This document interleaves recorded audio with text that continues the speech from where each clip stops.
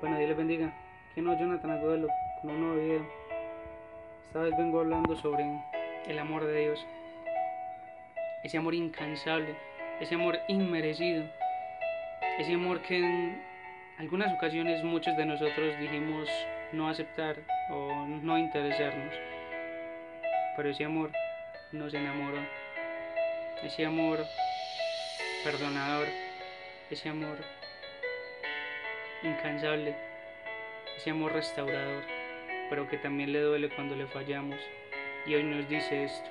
Desde mi trono te contemplo, te he echado de menos hasta en el templo. Me pregunto dónde habrás escondido todos tus talentos que no usas. Porque de mi misericordia abusas. Te he dado tantos recursos y no hay excusa. Llevo tiempo llamándote con cuerdas amorosas. Sabes que voy en busca de mi iglesia. Te levanto siete veces y siete veces te tropiezas. He limpiado el corazón de todo aquel que lo confiesa. Solo quiero que llegues a mí en una sola pieza. A los ángeles en vivo en el transcurso de tu día, porque si algo sucede tu alma se perdería. Parece que está llena, pero no está vacía. La llenarás cuando decidas ser la mía, porque soy el creador del universo, solución del inconverso, la inspiración detrás de cada uno de estos versos.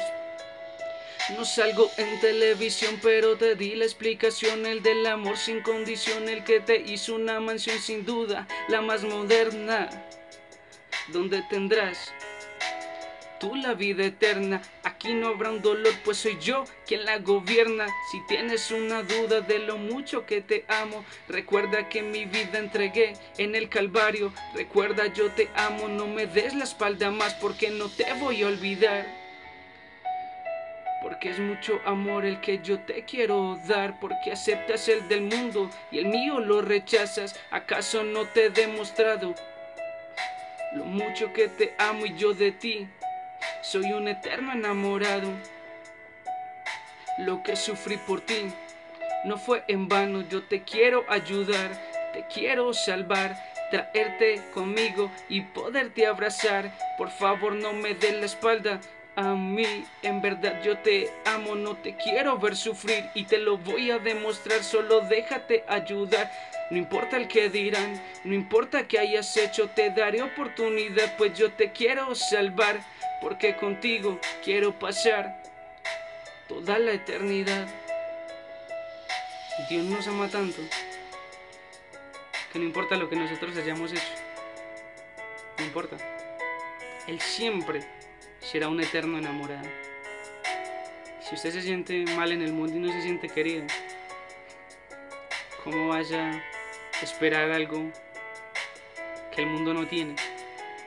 Porque el mundo te enamora, pero no te da amor. Dios les bendiga.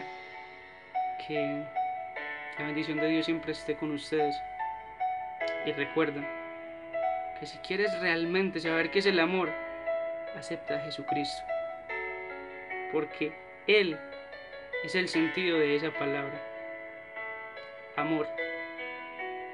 Esa es la definición de Dios.